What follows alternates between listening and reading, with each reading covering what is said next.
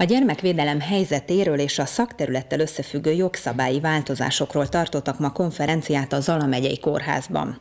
A résztvevők áttekintették a jelzőrendszer és az ellátás szerkezetét, valamint a legfontosabb feladatokat. A szakemberek egyöntetűen állítják, az utóbbi időben jelentősen megnőtt a gyermekek elleni agresszió, de az esetek nagy részét igen nehéz bizonyítani, hiszen jó részt családon belül történnek.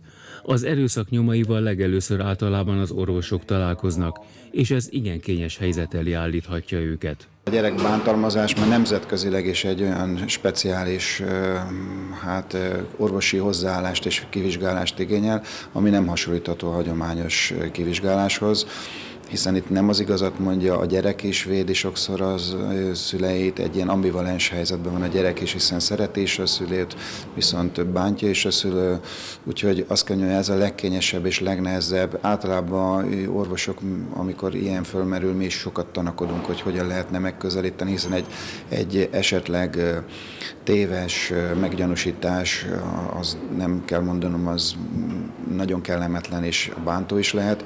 Ha viszont nem merjük fölvállalni a konfrontációt, akkor lehet, hogy egy gyereknek a következő években súlyos egészségkárosodását okozó bántalmazást nem előzzük meg. A járási rendszer kialakításával a gyámhivatalok jobban odafigyelhetnek a veszélyeztetett gyerekekre, családokra és a helyzet súlyosságának ismeretében dönthetnek arról, hogy például átmenetileg vagy véglegesen kiemelik a gyermeket környezetéből, vagy elegendő valamilyen anyagi vagy mentális segítséggel szolgálni. 92 zalágerszegi gyermek és 65 községi, a járáshoz tartozó 83 településből lévő településén gyerekek ennyien vannak védelembevétel alatt. Nyilván ez folyamatosan változik, hiszen a gyermekvédelmi alapállátás és szakállátás szakemberei közben azon dolgoznak, hogy azok a családok, akiktől kikerült a gyerek, illetve védelembevétel alatt van, azokat a hibákat javítsák.